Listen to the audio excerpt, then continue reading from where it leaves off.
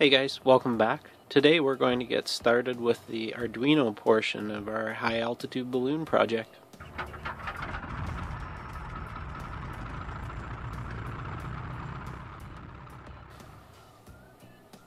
Hey guys, welcome back. Today I decided I better get moving on the uh, on the Arduino data logging part of the high altitude balloon. Uh, basically what I'm going to do is start building a data logger to an SD card to log the different sensors that we're going to put into uh, into near space. So I decided this would be the most important part of the build to start with is getting the data recorded to SD. Um, the GPS units I'll be using are going to top out significantly before our max altitude if we achieve it. They they won't do the hundred plus thousand feet that we're we're going to need. So we're going to be reliant on the uh, on the uh, backup barometric pressure. Uh, I think. Anyway, I wanted to start here, so that's where we're going to start. Um, let's get started and uh, get this up on the breadboard. So here we are set up on the breadboard. I ditched the LCD for this portion because I have a new plan. I'm not going to use an LCD with this unit going into space. Uh, I'll, I'll show you what I have planned in the next video, providing it works. Uh, so this is the SD card reader writer that I have. It requires six wires, which hopefully we can maybe even show here. We've got the ground, the MISO, the SCK, which is the serial clock, the MOSI, the CS chip select, and 5 volts. So not much to it. Uh, I set them up on this small Arduino board. This is not what I'm going to be using for the final project. I think I'm going to switch this over and probably use an Uno. Uh, I doubt I'll need a Mega, but uh, I think the Uno is going to be a little easier to work with. I don't know. Um, for now, this is what I had on the board, so go ahead and use this. And um, yeah, this this is working. Uh, what I did is I took the example code and tried it to make sure this worked, and uh, it worked. But I hated the example code.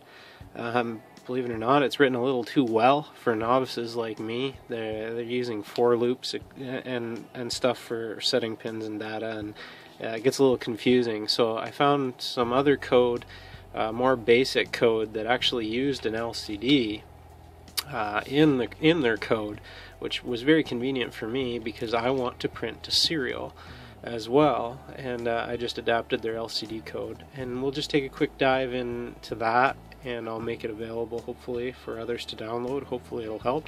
This will be the foundation of our Arduino data collection in space.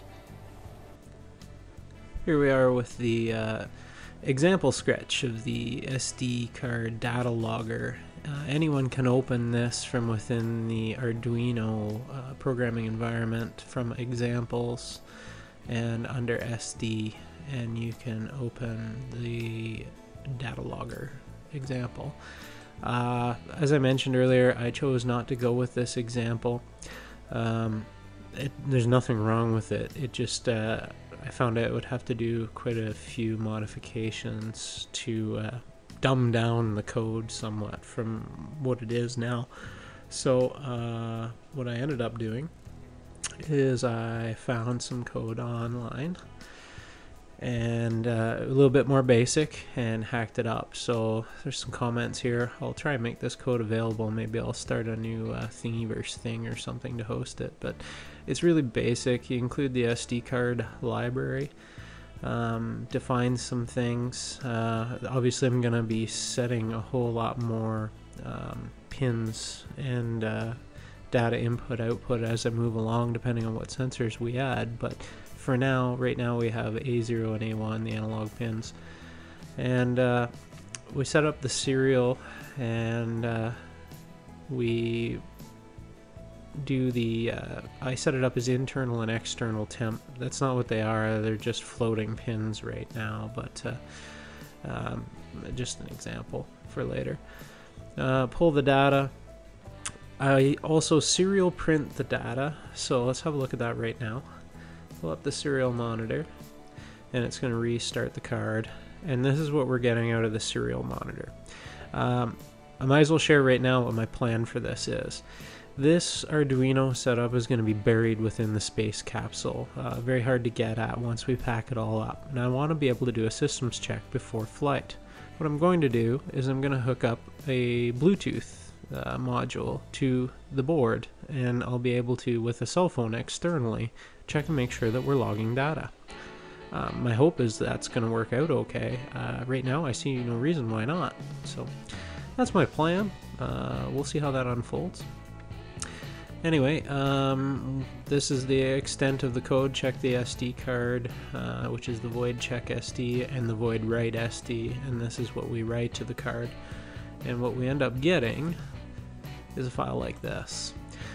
So we have the line number, the data 1, data 2, which I've redefined later to uh, to those temp channels. But uh, this line 1, I'm going to be replacing that with a real-time clock module.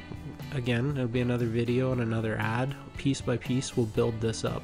But for now, we have a chronological order of each line through uh, through the loop and the data stored according to it.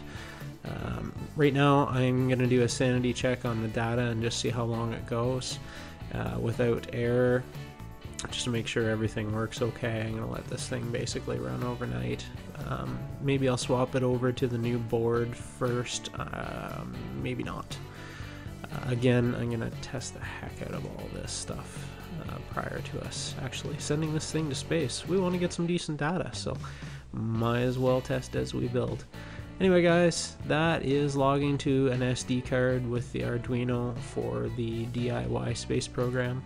Hope it helps someone someday and good luck with all your projects. Thanks for watching.